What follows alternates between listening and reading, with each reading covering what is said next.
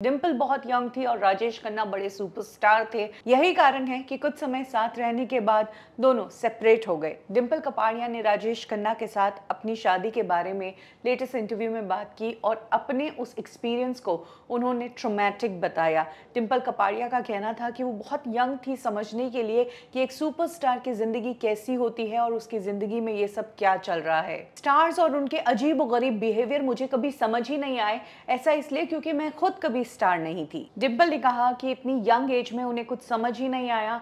बस वो बहुत ही ड्रामेटिक थी माउंटेन्स में जाती थी, हवा भी चलती थी तो वो एकदम ड्रामेटिक हो जाती थी इस ड्रामा के कारण ही। उन्होंने आगे चलकर राजेश खन्ना के साथ शादी की, लेकिन शादी करने के बाद उनके साथ जो कुछ हुआ, वो उनके लिए ट्रोमैटिक था।